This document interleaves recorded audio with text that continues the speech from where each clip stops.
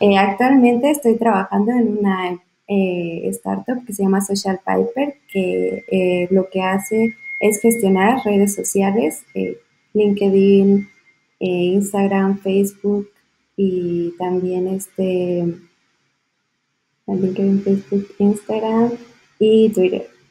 Y bueno, actualmente decidí dar este tema porque en esta nueva empresa en la que estoy trabajando están utilizando una API serverless con GraphQL y la verdad me, me pareció muy interesante ¿no? toda esta infraestructura. Y bueno, también actualmente eh, decidí empezar a hacer un proyecto, un desarrollo que espero se convierta en una startup junto con dos amigos. Y bueno, este desarrollo justo también eh, estoy haciendo el backend en una API serverless eh, con, justo con Flask Amazon Web Service, ¿no? Con el servicio de, Lambda Function. Y bueno, para los que se están preguntando qué, es serverless, pues básicamente significa, bueno, es un modelo de ejecución en donde el proveedor en la nube es responsable de ejecutar un fragmento de código mediante la asignación dinámica de, de los recursos. ¿no? Entonces, eh, ¿qué, qué más podemos saber acerca de esto, ¿no? O qué, ventajas tenemos de, una API serverless. Pues que no tenemos mantenimiento de servidor, o sea, no hace falta igual tener grandes conocimientos, porque la verdad es súper fácil. Eh, solo pagas por lo que utilizas. Esto es este, esto es súper bueno porque la verdad hace que una API serverless sea muy barata Aquí les puse el, precio de, la lambda, que tiene, bueno, que tiene, perdón, una, función en Amazon Web Service que se llama lambda. Ahí el servicio es de 0.20 centavos de dólar por un millón de requests. Y bueno, también la fiabilidad y disponibilidad constante. Eh, en la mayoría de, de, servicios de la nube, ya sea eh, Azure o ya sea el servicio de Google, eh, todos tienen el nombre de function, pueden encontrar este, las funciones, para la, redundancia, como function y bueno, Lambda es para Amazon, para Amazon Web Service. Y bueno, ¿cómo es eh, la solicitud serverless? ¿no? ¿Cuál es la diferencia? Bueno, pues primero el request viene a través de, una API Gateway. A continuación el request es mapeado en un diccionario usando Velocity Template Language. El servidor se crea a continuación. Eh, después el servidor lo convierte a una respuesta WSGI y lo introduce a la aplicación. La aplicación lo devuelve y lo pasa a través de API Gateway. Y finalmente se destruye el, servidor, ¿no? Estos serían los, el camino que seguiría. Y bueno, eh, ya vamos a empezar a codear. Bueno, realmente vamos a codear muy poco porque es muy sencillo hacer una API serverless con Amazon. Y bueno, igual con Flask, es súper fácil. Y bueno, lo primero que necesitamos, eh, esto ustedes se lo van a llevar de tarea, es hacer la configuración con las credenciales de Amazon en, este, en la instalación de serverless. ¿no? Bueno, les muestro un poquito la página que sería esto, es básicamente pues crear su cuenta de Amazon, eh, crear su IAM y su Access Key y pues simplemente configurar este, esas credenciales en, en serverless, ¿no? Y bueno, continuamos. Después necesitarán también Docker, eso también es muy sencilla la instalación. Les dejo el link. Aquí pueden clicar y pues pueden descargarse Docker para su computadora. Y bueno, ahora sí, empecemos. Eh, lo primero que tenemos que hacer es crear nuestro, nuestro directorio. En este caso le voy a llamar eh, API Serverless a nuestro proyecto. Aquí estamos este, creando nuestra carpeta y vamos a acceder a esta carpeta que acabamos de crear. Listo, ya estamos ahí. Eh, ahora vamos a inicializar eh, nuestro packet JSON. Eh, simplemente hacemos el npm init y le hacemos el menos "-f", para que nos, lo cree con los valores de default. Entonces, pues simplemente lo ponemos y ya está, listo, lo tenemos. Ahí lo podemos ver, Y seguidamente vamos a instalar dos dependencias. Una va a ser la de serverless WSGI, que esa nos, va a ayudar a gestionar pues, las, respuestas eh, WSGI y el serverless Python requirements. Igual para esta librería nos va a servir para gestionar nuestros requerimientos de Python. Igual eh, toda esta información, esta presentación se las voy a dejar para que puedan seguir paso a paso la creación de, esta API, que de verdad es súper sencillo. Eh, creo que no hice bien el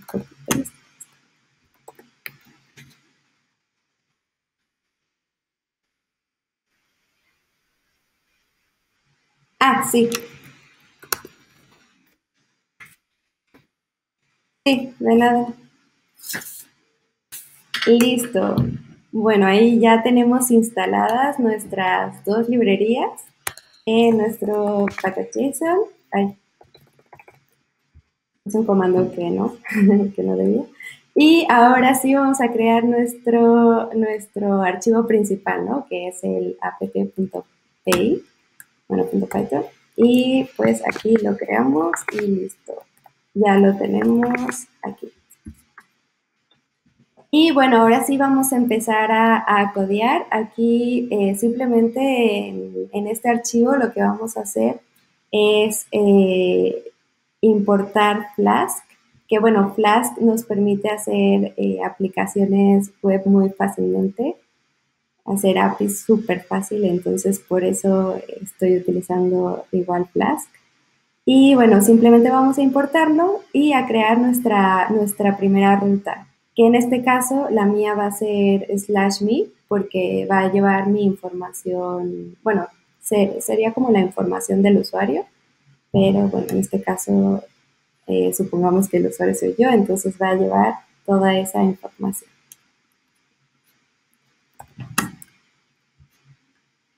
Simplemente aquí vamos a abrir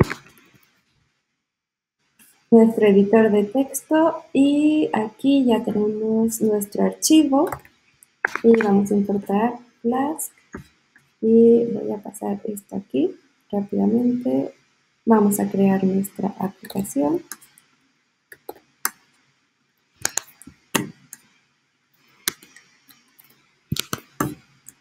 Y vamos a empezar a hacer, bueno, vamos a hacer nuestra ruta. En este caso, bueno, aquí es mi.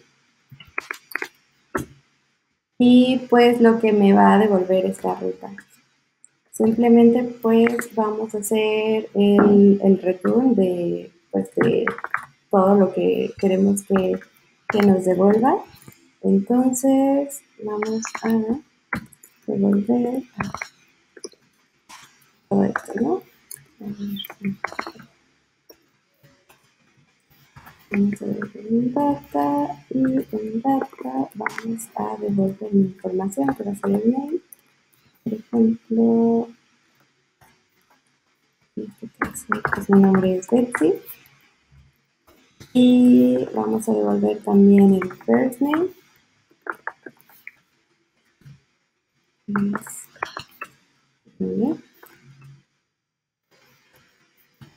Mendoza y el que en este caso va a ser un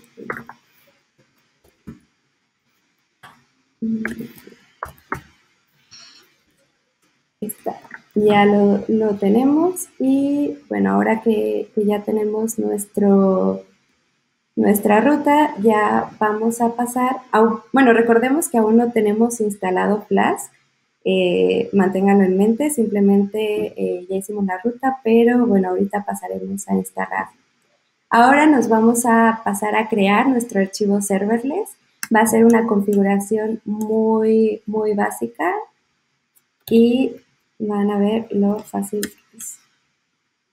bueno, aquí hacemos nuestro archivo, ya lo tenemos y ya podemos este, poner toda nuestra, nuestra información, ¿no? Con ese archivo serverless. A ver, sí, voy a, yo aquí ya lo tengo hecho, entonces simplemente voy a poner esta información, esta configuración que es básica, en donde le ponemos el nombre, aquí va el nombre de, nuestro servicio que, vamos a, que vamos a hacer. En este caso, eh, le voy a cambiar el nombre, le voy a poner API Serverless. Vamos a aquí. Y le voy a poner API Serverless, ¿no? Como el, la carpeta que hicimos. Aquí vamos a especificar los dos, eh, las dos librerías que instalamos en nuestro package JSON. Y aquí, pues, una custom, bueno, una, un custom de, estos dos plugins, ¿no? Muy básico. Y aquí en el provider es donde va la información de, nuestro proveedor de, la nube, ¿no? En este caso estamos utilizando Amazon Web Service.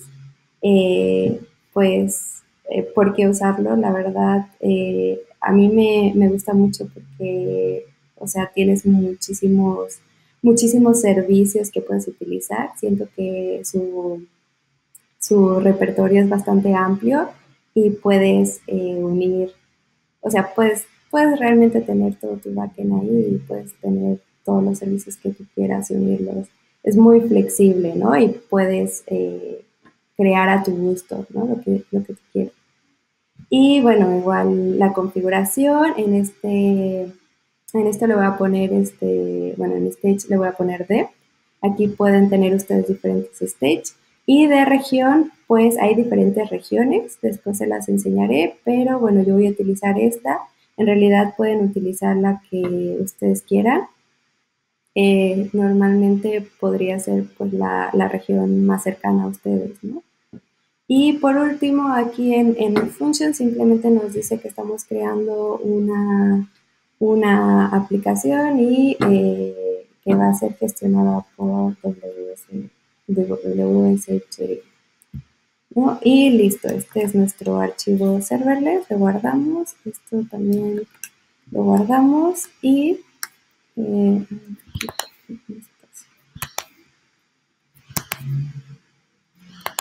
Perdón, porque puse espacios. Y bueno, listo, ya, ya tenemos todo listo y ahora sí vamos a instalar Flask y nos vamos a ir aquí otra vez a nuestra presentación. Y simplemente pues primero vamos a crear nuestro ambiente virtual y vamos a activarlo, ¿no? Entonces, aquí está nuestro ambiente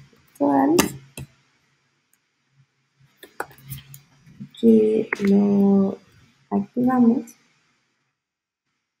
Y mientras, este, perdón, mientras lo hacemos, vamos a copiarnos el de activar nuestro Y listo. Y ahora sí vamos a instalar Flask y una vez instalado en nuestro ambiente virtual, vamos a pasarlo a nuestros requerimientos. Y aquí lo pasamos a nuestros requerimientos. Y listo, ya está, ya lo tenemos.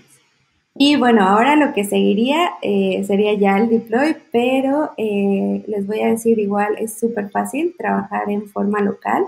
Eh, simplemente con, con serverless ponemos este, este comando y, simplemente ya podemos estar trabajando en, local y ver si funciona. Hay que ver primero si, si, nos está funcionando nuestro nuestra bueno y la alimentación me falló no sé qué le pasó a mi editor pero me movió los espacios. Está, listo. A ver, ahora sí. Vamos a hacer el, el deploy. Y listo, ya está. Aquí nos dice que está en este puerto, así que podemos abrirlo aquí en Google. Y, y claro, no, dice no puedo porque la ruta se llama Mi, así que nos vamos a esa ruta y aquí podemos ver ya nuestro, nuestro primer servicio, nuestro endpoint con una API serverless. Entonces, ahora sí, ya vimos que funciona. Vamos a hacer el deploy hacia, hacia Amazon. Eh, nos vamos hacia la presentación que está aquí. Y justo, bueno, ahí el Giphy para celebrar que sí se hizo deploy. Y bueno, aquí vamos a, explicarnos y vamos a hacer el deploy. Simplemente con este comando de serverless, serverless deploy, ya se hace el deploy de nuestra, de nuestra función, de nuestra API en este caso. Y bueno, mientras se hace todo este deploy, vamos a irnos a la página de Amazon Web Service. Bueno, aquí ya tengo abierta la ventana en donde va a aparecer mi, mi lambda pero eh, si ustedes son nuevos en Amazon Web Service, bueno, simplemente aquí buscan el servicio de Lambda y así ya pueden este, ir hacia esa ruta, hacia donde están sus lambdas, perdón. Y en el caso, bueno, y tienen que fijarse también que estén en la región correcta. Aquí pueden ver todas las regiones que Amazon tiene disponible y bueno, en este caso, como les comenté, utilicé esta que es la de Estados Unidos East y esa es la que, la que estoy utilizando, ¿no? Y vamos a ver, aún se sigue este, haciendo deploy. Tenemos que no tarde mucho. Y a ver está, aún sigue, sigue deployando.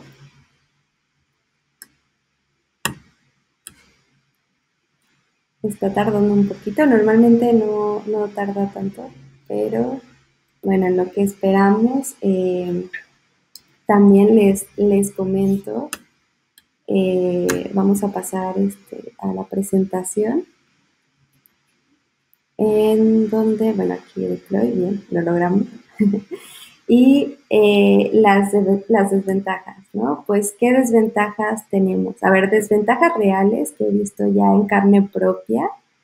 Eh, básicamente son mm, los timeouts, ¿no? En, en, la, en la empresa en la que estoy trabajando, sí nos hemos encontrado que, que pues nuestra, nuestra API ha dado timeouts.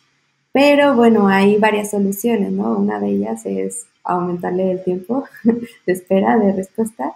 Y otra, pues sí, hay, hay unas librerías que, te ayudan a, a mantenerla despierta, sobre todo cuando hace tiempo que ya no, no has este, utilizado esa función. Eh, cuando la primera vez que la utilizas, en lo que arranca sí suele tener, eh, sí suele tardar más, ¿no? Entonces ahí se pueden dar esos timeouts. Pues hay herramientas y hay librerías que te ayudan a hacerle eh, a, esos servicios, a esa lambda, para mantenerla despierta y, pues no, este, no tengas esos tiempos de espera. Y bueno, listo, aquí ya terminó. Eh, nuestro deploy y ya podemos verlo aquí. Aquí está, mira, ya la podemos ver, es la de, eh, es esta, la de API Serverless Dev ¿no? Esta es la que creamos y ya podemos entrar, aquí igual este, ver toda la configuración eh, que tenemos que, bueno, realmente no le pusimos variables de ambiente, pero bueno, las variables de ambiente también podemos ponerlas en, la, en el archivo serverless, justo donde está el provider, ahí podemos poner las variables de ambiente, aunque eh, la verdad no es buena práctica, yo sugeriría utilizar, por ejemplo, el, el System Manager, me parece que se llama, con este, aquí está, System Manager, y eh, con Parameter Store, en donde ahí podemos alojar todos nuestros parámetros y utilizarlos simplemente con el SDK de Amazon Web Service en, en nuestra API. Y bueno, volviendo a nuestra presentación, eh, ahora sí, podemos celebrar. Bien, nos salió. Y listo. Eh, es básicamente todo. Aquí tienen igual mi mail y mi GitHub y mi GitLab por si quieren seguirme. Y les voy a estar dejando esta presentación.